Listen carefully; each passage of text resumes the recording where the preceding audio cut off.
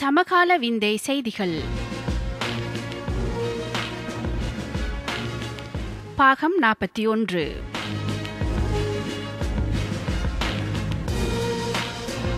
இனி விவசாயிகளுக்கு வேலை மிச்சம்.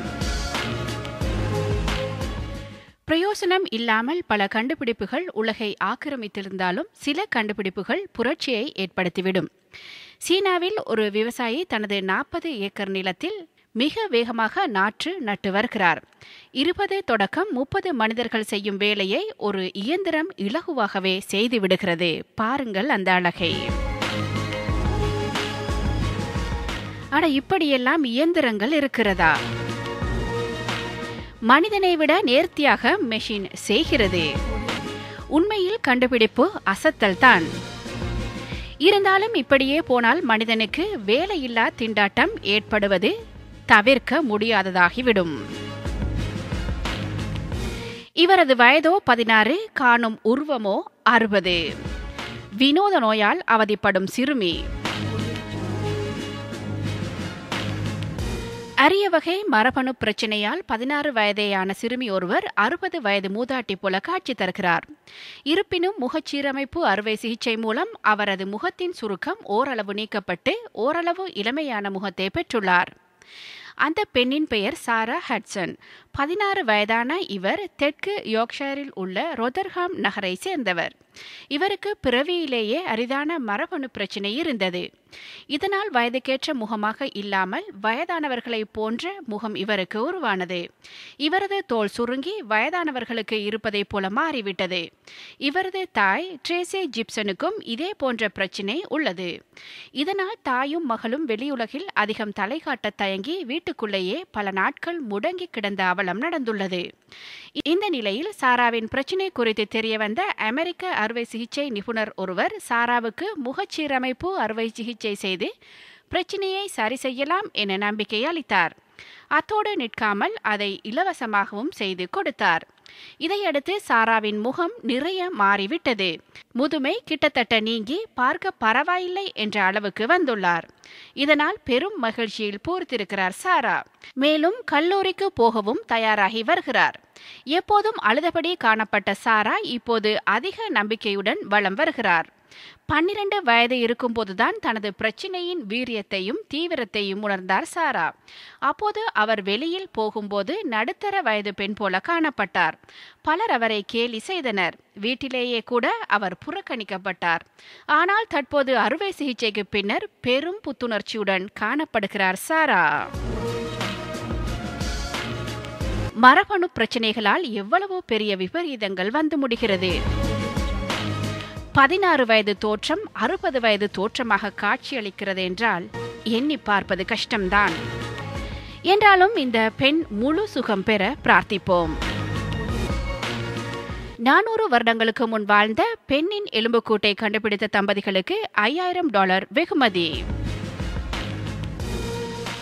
நானூறு வருடங்களுக்கு முன் வாழ்ந்த ஒரு பெண்ணின் எலும்புக்கூட்டை கண்டுபிடித்த ஒன்டாரியா தம்பதிகளுக்கு ஐயாயிரம் டாலர் வெகுமதி அளித்து பாராட்டும் அளிக்கப்பட்டது.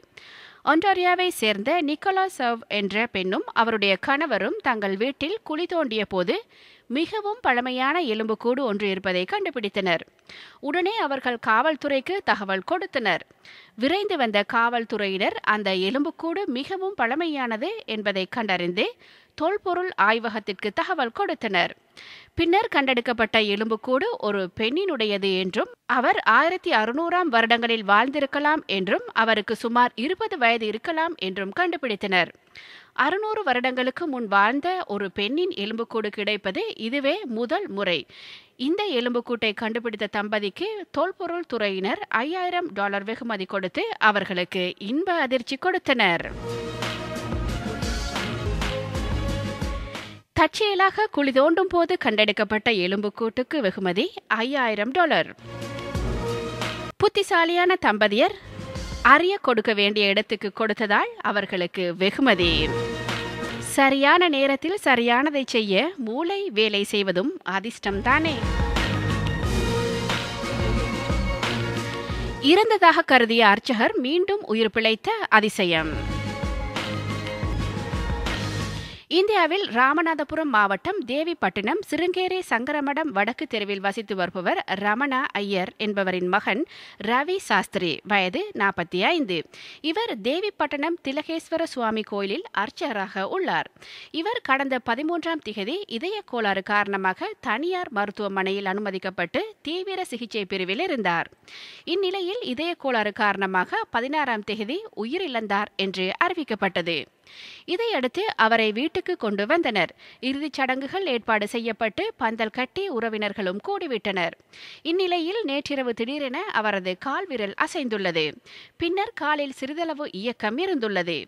இதை கவனித்த சிலர் அவரை உடனடியாக உள்ளூர் மருத்துவமனைக்கு அழைத்து சென்று பின்னர் அங்கிருந்து மதுரை தனியார் மருத்துவமனையில் அனுமதித்தனர். அப்போது அவர் உயிருடன் இருப்பதும் அவரது இதயம் பலவீனம் அடைந்திருப்பதும் தெரிய வந்தது. இதையடுத்து அவர் இதய நோய் தீவிர சிகிச்சை பிரிவில் அனுமதிக்கப்பட்டார். தொடர்ந்து உறவினர்களோடு உற்சாகமாக அமர்ந்து பேசிக் கொண்டிருந்தாராம். இது குறித்து இவரது மனைவி புவனா கூறுகையில் சிவபெருமானை தொடர்ந்து பூஜை செய்து வந்தோம். சிவபெருமானின் அருளால் அவர் உயிருடன் மீண்டுள்ளார் என்று உணர்ச்சி பொங்க கூறியுள்ளார். சாவு வரையும் போய் பிழைத்தவர்கள் பற்றி விந்தை செய்தியில் நிறையவே பார்த்திருக்கிறோம். இவருக்கும் ஆயுள் கெட்டிதான். அவன் நாட்டமின்றி அணுவும் அசையாது. வாழ்த்துவோம். தனக்குத்தானே சத்திர சிகிச்சை செய்து கொண்ட முதல் மருத்துவர். பனி பிரதேசமான அண்டார்டிகா கண்டத்தில் உள்ள ரஷ்ய ஆய்வுக்கூடத்தில் ஐம்பது ஆண்டுகளுக்கு முன்பு மருத்துவராக பணியாற்றியவர் லியோனிட் ரொகோசோவ். இருபத்தி ஒன்பது நான்கு ஆயிரத்தி தொள்ளாயிரத்தி அறுபத்தி ஒன்று காலை இவருக்கு திடீரென சோர்வு வாந்தி காய்ச்சல் என ஒன்றுபட்ட உடல் உபாதைகள் ஏற்பட்டன. சிறிது நேரத்திற்கு பின்பு கடுமையான வயிற்று வலியும் சேர்ந்து கொள்ள மனிதர் துடிதுடித்து போனார். தனக்கு தெரிந்த கை வைத்தியம் எல்லாம் செய்து பார்த்தும் வயிற்று வலி மட்டும் குறைந்த பாடில்லை. ரஷ்யாவின் தலைமை ஆய்வு நிலையத்திற்கு செல்ல வேண்டுமானால் ஆயிரத்தி அறுநூறு கிலோமீட்டர் விமானத்தில் பயணம் செய்ய வேண்டும். ஆனால் கடுமையான பனிப்பொழிவுடன் கூடிய பருவநிலையோ விமான பயணத்துக்கு இடம் தரவில்லை. அன்று மாலை வயிற்றுவலி மேலும் கடுமையானது. குடல் வாய் நோய்தான் தனது தீராத வயிற்றுவலிக்கு காரணம் என்பதை அவர் உணர்ந்தார். மறுநாள் இரவு வயிற்றுவலி குறையாமல் போகவே முப்பது நான்கு ஆயிரத்தி தொள்ளாயிரத்தி அறுபத்தி ஒன்று அன்று இரவு பத்து மணி அளவில் ஒரு டிரைவர் மற்றும் ஒரு வானிலை ஆய்வாளர் ஆகியோர் கத்தி மருந்து ஆகியவற்றை எடுத்து தர தனது வயிற்று பகுதியை பத்து சென்டிமீட்டர் அளவிற்கு திறந்து நான்கு சதுர சென்டிமீட்டர் அளவுள்ள குடல் வாலை வெற்றிகரமாக வெட்டி வெளியே எடுத்தார். சுமார் இரண்டு மணி நேரம் நீடித்த இந்த சத்திர சிகிச்சைக்கு பின்னர் திறந்த பகுதியை தையலிட்டு மூடிய ரொகோசோவ் இரண்டு வாரத்திற்குள் உடல் நலம் தேறி எப்போதும் போல் வேலைகளை கவனிக்க தொடங்கினார். தொடர்ந்து மருத்துவ பணியாற்றி வந்த லியோனிட் ரொகோசோவ் நுரையீரல் புற்றுநோயால் பாதிக்கப்பட்டு இருபத்தி ஒன்று ஒன்பது இரண்டாயிரமாம் ஆண்டு தனது அறுபத்தி ஆறாவது வயதில் மரணமடைந்தார். உலக மருத்துவ வரலாற்றில் தனக்குத்தானே ஒருவர் சத்திர சிகிச்சை செய்து கொண்டது இதுதான் முதல் முறை என்பது குறிப்பிடத்தக்கது. இரத்தத்தை கண்டாலே சில பேருக்கு தலை சுற்றும். இதில் இவர் எப்படி தன்னைத்தானே வெட்டி கொண்டாரோ என்பது ஆச்சரியமாக இருக்கிறது. அதைவிட அவர் செய்து கொண்ட சத்திர சிகிச்சை காரணமாக முப்பத்தி ஒன்பது வருடங்கள் வாழ்ந்திருக்கிறார் என்பதுதான் சாதனை. உலகின் மிகப்பெரிய திரையை கொண்ட ஸ்மார்ட் போனை வெளியிட்டது சோனி. எவ்வித ஆர்ப்பாட்டமும் இல்லாமல் தனது பிரமாண்ட ஸ்மார்ட் போனை சோனி நிறுவனம் வெளியிட்டிருந்தது. சோனி எக்ஸ்பெரியா இசட் அல்ட்ரா என பெயரிடப்பட்டுள்ள இது ஆறு புள்ளி நான்கு இன்ச் என்ற விசாலமான திரையையும் ஆயிரத்தி எண்பது பி ஃபுல் ஹெச்டி திரை அளவையும் கொண்டுள்ளதுடன் நீர் உட்புகா வசதியையும் கொண்டுள்ளது. உலகின் வேகமான மொபைல் பிரவுசரையும் இரண்டு புள்ளி இரண்டு குவாட்கோ சோனி நிறுவனத்தின் எக்ஸ் ரியாலிட்டி என்ற சிறப்பு துறை தொழில்நுட்பத்தையும் கொண்டுள்ளது. இந்த ஸ்மார்ட் போன் தொடர்பான மேலதிக விவரங்கள் சோனியின் உத்தியோகபூர்வமான இணையதளத்தில் வெளியிடப்பட்டுள்ளது என்பதும் குறிப்பிடத்தக்கது. நாளுக்கு நாள் போன்களை தயாரித்து வெளியிடுவதில் நிறுவனங்கள் போட்டி போட்டுக் கொண்டிருக்கின்றன.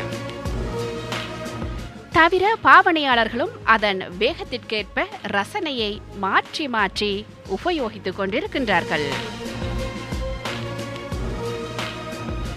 நாளுக்கு மூன்று முறை இரத்த கண்ணீர் வடிக்கும் பெண் மருத்துவர்கள் அதிர்ச்சி. சிலி நாட்டை சேர்ந்த ஒரு பெண் தினசரி மூன்று முறை இரத்த கண்ணீர் வடிக்கிறார். உடம்பில் அடிபட்டு ரத்தம் வந்தாலே அச்சம் வரும். இந்த பெண்ணின் இரத்த கண்ணீரை நிறுத்த செய்வதறியாது திகைக்கின்றனர் மருத்துவர்கள். சிலி நாட்டின் லாஸ் லகோஸ் மாகாணம் புராங் பகுதியைச் சேர்ந்தவர் யாரிட்சா ஜோஸ். இவரது தந்தை ஒரு கார்பெண்டர். இவர்கள் மிகவும் ஏழ்மையான குடும்பத்தை சேர்ந்தவர்கள். பிறந்தது முதல் சராசரி பெண்ணாகத்தான் வளர்ந்தார் யரிட்சா ஒலிவா. கடந்த சில வாரங்களுக்கு முன்பு ஒரு நாள் அழுதபோது கண்ணில் ரத்தம் வந்தது. இதனால் ஒலிவாவுக்கு பயங்கர வலி ஏற்பட்டது. அதிர்ச்சி அடைந்த பெற்றோர் அருகிலுள்ள கண்டாக்டரிடம் மகளை அழைத்து சென்றனர். தினசரி மூன்று முறை ஒலிவாவுக்கு முதலில் கண்ணில் போடுவதற்காக சொட்டு மருந்து கொடுத்தனர். ஆனால் மருந்து போட்டும் ஒலிவாவுக்கு வலியும் குறையவில்லை. இரத்த கண்ணீர் வருவதும் நிற்கவில்லை. தினமும் மூன்று முறை கண்களிலிருந்து கண்ணீருக்கு பதில் ரத்தம் வருகிறது. ஹெமோலக்ரியா என்ற அரிய நோயால் யாரிட்ஸா பாதிக்கப்பட்டுள்ளதாக மருத்துவர்கள் கூறுகின்றனர்.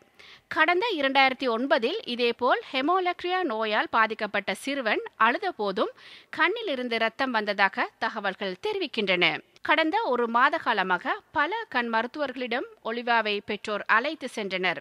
ஆனால் மருத்துவர்களால் ஒலிவாவின் பிரச்சனையை சரி செய்ய முடியவில்லை. செலவுக்கு பணமில்லையே மகளின் மருத்துவ செலவுக்கு பணம் இல்லாமல் கஷ்டப்படுகிறேன். நல்ல மனம் படைத்தவர்கள் உதவி செய்யுங்கள் என்று ஜோஸ் கோரிக்கை விடுத்துள்ளார். இது குறித்து யாரிட்சா கூறுகையில் எனக்கு என்ன சிகிச்சை அளிப்பது என்று யாருக்கும் தெரியவில்லை. ஏன் இப்படி நடக்கிறது? நான் என்ன செய்வது என்று எனக்கு தெரியவில்லை என்று பீதியுடன் கூறுகிறார். அவரது இரத்த கண்ணீரை பார்த்து மருத்துவர்கள் மட்டுமல்லாது அக்கம் பக்கத்தினரும் பீதியடைந்துள்ளனர் புதிய புதிய நோய்களை பார்க்கும்போது உள்ளுக்குள் மெல்லமாக பயம் எடுத்தாலும் அந்த பெண் பூரண குணம் அடைய பிரார்த்தனைகளில் இணைத்துக் கொள்வோம். மூக்கில் மூளையுடன் பிறந்த குழந்தை. மண்டையோட்டுக்கு வெளியே மூளை காணப்படும் வகையில் பிறந்த குழந்தையின் மூளையானது ஆறு மணித்தியால சத்திர சிகிச்சையின் பின்னர் மண்டையோட்டினுள் வெற்றிகரமாக வைக்கப்பட்டுள்ளது. இச்சம்பவமானது சிட்னியில் இடம்பெற்றுள்ளது. மேரி குன்றம் என்று அழைக்கப்படும் குழந்தை ஒன்று மூக்கிற்கு மேல் மூளை காணப்படும் வகையில் பிறந்துள்ளது. இக்குழந்தைக்கு இத்தகையதொரு பிரச்சினை காணப்படுவதை குழந்தையின் தாய் கர்ப்பம் தரித்து ஐந்தாம் மாதத்தில் உணர்ந்துள்ளார். எனினும் குழந்தை கர்ப்பத்தில் இருப்பதால் எத்தகைய சிகிச்சை முறைகளையும் மேற்கொள்ள முடியாது என்பதால் குழந்தை பிறக்கும் வரை காத்திருந்தார். குழந்தை பிறந்தாலும் கூட அதற்கு உடனடியாக சத்திர சிகிச்சை மேற்கொள்ள முடியாத நிலை ஏற்பட்டுள்ளது. மண்டையோட்டுக்கு வெளியே மூளை காணப்படுவதால் அக்குழந்தை நோய் தொற்றுக்கு இலக்காகி உயிராபத்தை எதிர்கொள்ள நேரிடும் என்பதால் குழந்தை பிறந்த ஏழு மாதங்களில் அதற்கு சத்திர சிகிச்சை மேற்கொள்ளப்பட்டுள்ளது. மூளை கூட வெளியில் அமைந்து விடுகிறதா? பார்க்கிறதுக்கு மிக கஷ்டமாக இருந்தாலும் தற்போது அந்த குழந்தையின் நிலை மாறியிருப்பதால் ஓரளவுக்கு மன அமைதி காண முடிகிறது.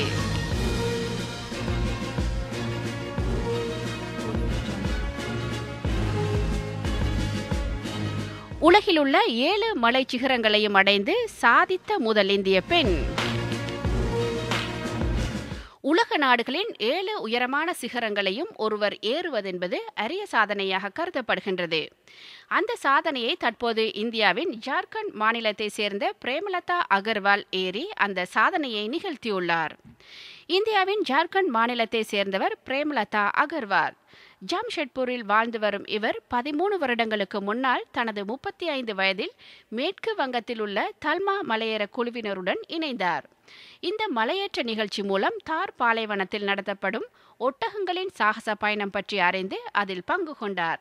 இதற்கு பின்னர் ஆப்பிரிக்காவின் ஏழு இயற்கை அதிசயங்களுள் ஒன்றாக கருதப்படும் கிளி மஞ்சரோ சிகரத்தை அடையும் வாய்ப்பு அவருக்கு கிட்டியது. பின்னர் கடந்த இரண்டாயிரத்தி பதினோராம் ஆண்டு மே மாதம் இருபதாம் திகதி உலகின் மிக உயரமான சிகரமான எவரெஸ்டை அடைந்து இந்திய நாட்டின் தேசிய கொடியை அங்கு நாட்டினார். இந்த முயற்சி அவருக்கு பிற நாடுகளின் உயரமான சிகரங்களையும் அடைந்து அங்கும் இந்திய கொடியை பறக்கவிட வேண்டும் என்ற எண்ணத்தை ஏற்படுத்தியது. உலக நாடுகளின் ஏழு உயரமான சிகரங்களையும் ஒருவர் ஏறுவதென்பது அரிய சாதனையாக கருதப்படுகின்றது. அந்த சாதனையையும் தற்போது பிரேமலதா நிகழ்த்தியுள்ளார். இந்த வருடம் மே மாதம் வட அமெரிக்காவில் உள்ள மெக்கின்லே மலையின் தெனாலி சிகரத்தை அடைந்து அங்கு இந்திய நாட்டு கொடியை பறக்கவிட்டதன் மூலம் தனது கனவை அவர் நிறைவு செய்துள்ளார். இதற்கு அவருக்கு உறுதுணையாக இருந்தது எவரெஸ்ட் சிகரத்தை அடைந்த முதல் இந்திய பெண்ணான பச்சேந்திரி பால் ஆவார். தற்போது டாடா ஸ்டீல் குழுமத்தின் சாகச அமைப்பின் தலைவராக விளங்கும் இவர் பிரேமலதாவிற்கு மன மற்றும் உடல் ரீதியான பயிற்சிகளை அளித்து இந்த சாதனையை புரிய அவருக்கு உதவிகரமாக இருந்தார்.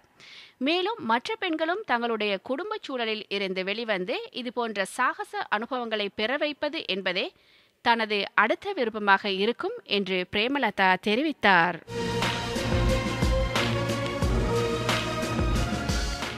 இப்போதெல்லாம் ஆண் பெண் என்ற வேறுபாடு இல்லை. சாதிக்க வேண்டும் என்ற துணிவும் வேகமும் இருந்தால் ஏன் நீங்கள் கூட சாதனை பெண்ணாக மாறலாம்? ஏழு சிகரங்களை தொட்ட பிரேமலதாவுக்கு வாழ்த்துக்களை இணைப்போம்.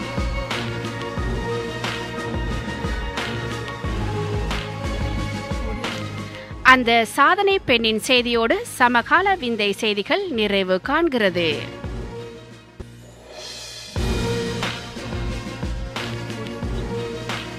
மீண்டும் அடுத்த வாரம் சந்திப்போம்.